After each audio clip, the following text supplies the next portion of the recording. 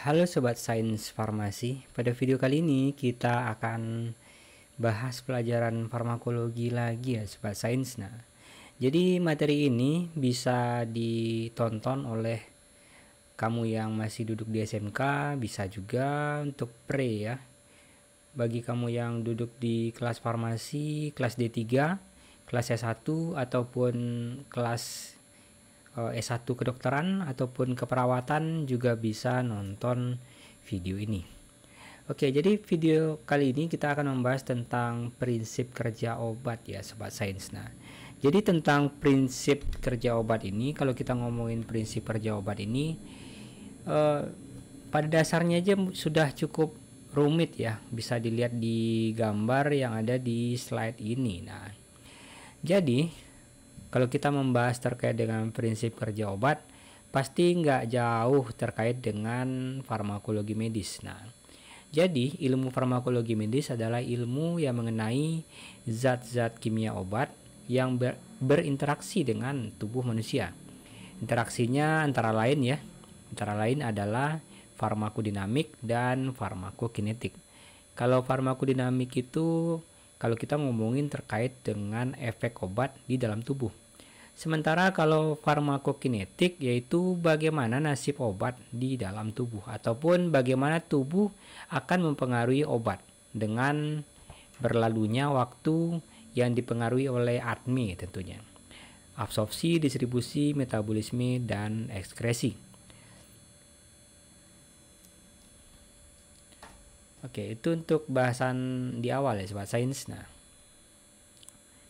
cara yang paling sering suatu obat dapat menghasilkan efek terlihat pada gambar ini ya sobat sains. Nah, jadi sebagian kecil daripada obat, misalnya karbon aktif, diuretik ataupun diuretik osmotik bekerja dengan menggunakan sifat fisikokimianya dan ini juga disebut sebagai daya kerja obat non spesifik dan beberapa obat ini bekerja sebagai substrat yang palsu atau false substrat ataupun inhibitor untuk sistem transport yang seperti ini ya sobat saya nah, oke. Okay. untuk sistem transport yang di berada di kanan bawah ini. Nah.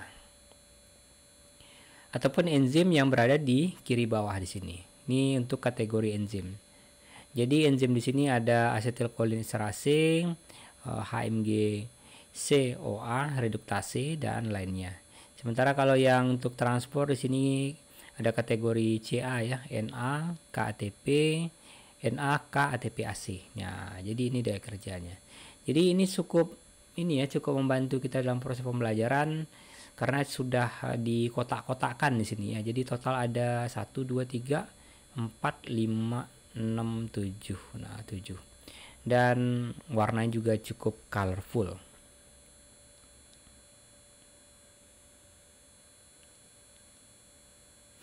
Akan tetapi, nah sebagian besar obat itu menghasilkan efek dengan bekerja pada molekul protein spesifik yang biasa terletak pada membran sel. Protein-protein tersebut ini biasa disebut dengan reseptor ya ataupun reseptor tadi dan secara normal protein ini akan mengakibatkan ataupun memberikan respons atau memberikan dampak terhadap zat kimia endogen di dalam tubuh. Sehingga zat-zat kimia yang ini dapat berupa zat zat transmitter sinap berada pada kiri bawah eh kiri atas ya. Sorry. Kiri atas yang ini ya pada bagian yang ini. Oke, oke pada hormon hormon yang bagian yang ini ya. Hormon enzim berada pada kanan atas. Sebagai contoh asetilkolin adalah zat transmitter yang dilepaskan dari ujung saraf motorik. Dan zat ini mengaktifasi reseptor pada otot seklet ya. Sekletal itu otot rangka tentunya. Ini untuk mengawali serangkaian peristiwa yang menghasilkan kontraksi otot. Dan zat kimia misalnya asetilkolin ataupun obat yang mengaktifasi reseptor dan menghasilkan respons ini disebut dengan agonis. Nah, jadi beberapa obat yang disebut antagonis yang berla, berla, berka, berlainan ya berikatan dengan reseptor namun tidak mengaktifasinya. Itu disebut dengan kategori antagonis. Nah, antagonis merupakan uh, menurunkan kemungkinan terjadinya zat uh, transmitor ataupun antagonis lainnya.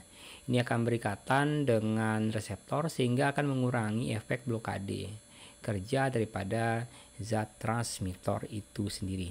Jadi kalau yang antagonis itu merintangi ya efeknya. Kalau yang agonis itu memberikan dampak ya. Artinya kalau yang antagonis itu sifatnya blocking ya. Next, kita akan bahas terkait dengan aktivasi reseptor. Aktivasi reseptor oleh agonis ataupun hormon digabungkan dengan reseptor fisiologis ataupun biokimia oleh mekanisme transduksi berada di bawah tengah ya ini. Oke, bawah tengah di sini. Transduksi yang sering namun tidak selalu ini akan melibatkan molekul yang disebut dengan second messenger. Nah, ini dia second messenger. Interaksi obat dan tempat ikatan pada reseptor itu akan tergantung sepenuhnya pada kesesuaian antara molekul tersebut. Jadi makin erat, makin affinity dia, makin erat kesesuaiannya antara banyak obat, biasanya itu yang ikatannya bersifat non kovalen ya. Yang memiliki ikatan non kovalen biasanya seperti itu. Dan di sini makin kuat gaya tarik menarik di antara kedua molekul tersebut. Dan semakin tinggi afinitas daripada obat terhadap reseptor kemampuan suatu obat untuk berikatan dengan satu jenis reseptor tertentu itu disebut spesifisitas. Nah, ini dia spesifik ya dan tidak ada obat yang benar-benar spesifik tentunya. Oleh karena itu bisa munculnya efek samping ya sobat sains nah. Tidak ada obat yang benar-benar spesifik nah. Namun banyak obat yang bekerja relatif spesifik dan satu jenis reseptor ini mungkin akan berikatan dengan uh, ini ya satu jenis obat mungkin akan berikatan dengan banyak reseptor tentunya. Karena tempat duduknya itu banyak yang mirip. Oleh karena itu daya kerja obat itu tidak ada yang betul-betul satu saja ketika uh, dimakan uh, ketika dimasukkan ke dalam tubuh ya. Baik itu pun dengan cara dimakan ditelan ya dikunyah disuntikan ataupun bagian ataupun dengan cara-cara lain ya Obat-obat yang diresepkan untuk menghasilkan efek terapeutik namun sering kali menghasilkan efek yang tidak diharapkan ya. Itu mungkin kita akan bahas di bagian yang lain ya sobat sains. Nah, dan yang bervariasi mulai dari efek yang tidak berarti ataupun yang tidak uh, tidak dihitung ya. Misalnya muaringan tentunya.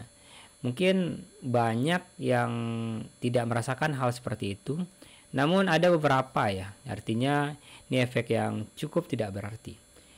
Sampai efek yang fatal, misalnya bisa mengakibatkan uh, anemia plastik ya, ataupun mengancam nyawa seseorang.